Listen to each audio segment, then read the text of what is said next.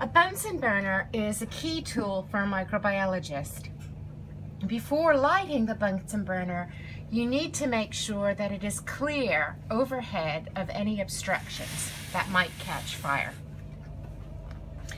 To ignite the Bunsen burner, you need to turn on the gas. With the gas turned on, you then light the flame.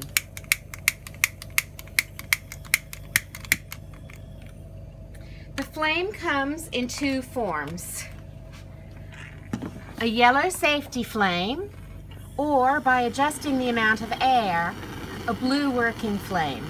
You can see that the blue flame has two components, a diffuse outer blue cone and a very hot inner blue cone. Introduce your inoculating loop at a 45 to 60 degree angle above the blue cone and as soon as it turns bright red, it is sterile and can be used, allowed to cool, and then used to pick up microbial cells and to inoculate media.